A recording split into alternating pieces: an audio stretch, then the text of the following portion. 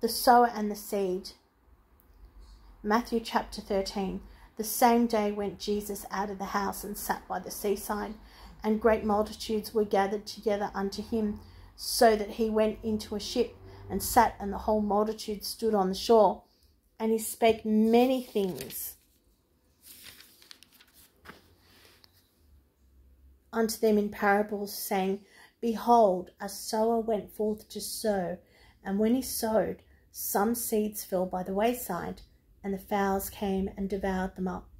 Some fell upon stony places, where they had not much earth, and forthwith they sprung up, because they had no deepness of earth. And when the sun was up, they were scorched, and because they had no root, they withered away. And some fell among thorns, and the thorns sprung up and choked them. But other fell into good ground and brought forth fruit, some an hundredfold, some sixtyfold, some thirtyfold. Who hath ears to hear, let him hear. And the disciples came and said unto him, Why speakest thou unto them in parables? He answered and said unto them, Because it is given unto you the know the mysteries of the kingdom of heaven, but to them it is not given. For whosoever hath, to him shall be given, and he shall have more abundance. But whosoever hath not, from him shall be taken away, even that he hath. Therefore speak I to them in parables, because they seeing see not, and hearing they hear not, neither do they understand. And in them is fulfilled the prophecy of Isaiah, which saith, By hearing ye shall hear, and shall not understand, and seeing ye shall see, and shall not perceive. For this people's heart is waxed gross, and their heart, their ears are dull of hearing, and their eyes have become closed, lest at any time they should see with their eyes and hear with their ears, and should understand with their heart, and should be converted, and I should heal them. But blessed are your eyes, for they see, and your ears, for they hear. For verily I say unto you that many prophets and righteous men have desired to see those things which ye see, and have not seen them, and to hear those things which ye hear, and have not heard them. Hear ye therefore the parable of the sower. When any one heareth the word of the kingdom, and understandeth it not, then cometh the wicked one, and catcheth away that which was sown in his heart. This is he which receiveth seed by the wayside. But he that receiveth seed into stony places, the same is he that heareth the word, and anon with joy receiveth it. Ye, yet hath he not root in himself, but dureth for a while. For when tribulation or persecution ariseth because of the word, by and by he is offended. He also that receiveth seed among the thorns is he that heareth, th- heareth the word, and the care of this world and the deceitfulness of riches choke the word, and he becometh unfruitful. But he that receiveth seed into the good ground is he that heareth the word and understandeth it, which also beareth fruit, and bringeth forth some an hundredfold, some sixty, some thirty. The wheat and the tares. Another parable put he forth unto them, saying, The kingdom of heaven is likened unto a man which soweth good seed in his field. But while men slept, the enemy came and sowed tares among the wheat, and went his way. But when the blade was sprung up and brought forth fruit, then appeared the tares also. So the servants of the householder came and said unto him, Sir, didst not thou sow good seed in thy field? From whence then hath it tares? He said unto them, An enemy hath done this. The servant said unto him, Wilt thou then that we go and gather them up? But he said, Nay, lest while you gather up the tares, you root up also the wheat with them.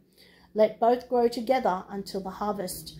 And in the time of harvest I will say to the reapers, Gather ye together first the tares, and bind them in bundles to burn them, but gather the wheat into my barn, the mustard seed and the leaven. Another parable put he forth unto them, saying, The kingdom of heaven is like to a grain of mustard seed, which a man took and sowed in his field, which indeed is the least of all seeds, But when it is grown, it is the greatest among herbs, and becometh a tree, so that the birds of the air come and lodge in the branches thereof. Another parable spake he unto them The kingdom of heaven of heaven is like unto leaven, which a woman took and hid in three measures of meal, till the whole was leavened.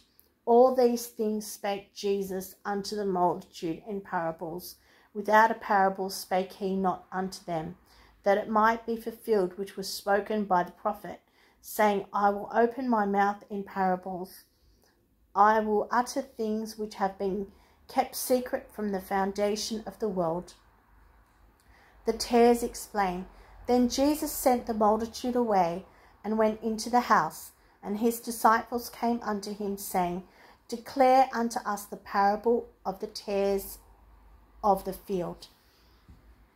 He answered and said unto them, He that soweth the good seed is the Son of Man. The field is the world, the good seed are the children of the kingdom, but the tares are the children of the wicked one. The enemy that soweth them is the devil. The harvest is the end of the world, and the reapers are the angels. As therefore the tares are gathered and burned in the fire, so shall it be in the end of this world. The Son of Man shall send forth his angels, and they shall gather out of his kingdom all things that offend, and them which do iniquity, and shall cast them into a furnace of fire. There shall be wailing and gnashing of teeth. Then shall the righteous shine forth as the sun in the kingdom of their Father. Who hath ears to hear, let him hear. The treasure and the goodly pearl.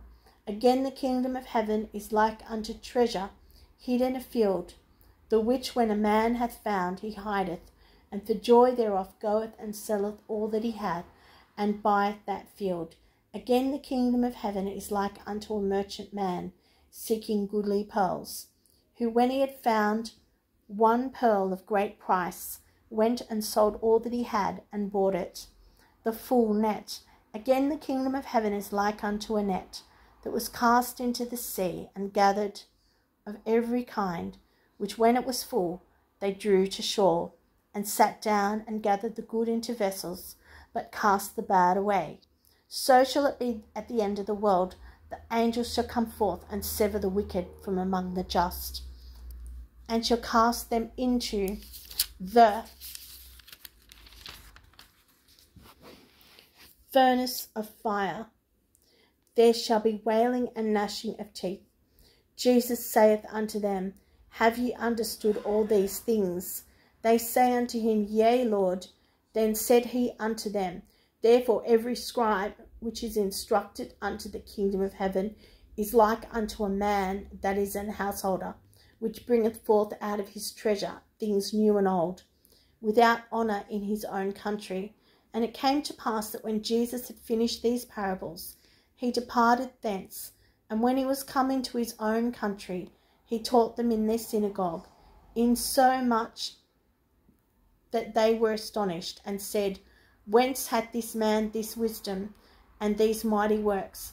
Is not this the carpenter's son? Is not his mother called Mary, and his brethren James, and Joses, and Simon, and Judas, and his sisters, are they not all with us? Whence then hath this man all these things. And they were offended in him. But Jesus said unto them, A prophet is not without honour, save in his own country, and in his own house.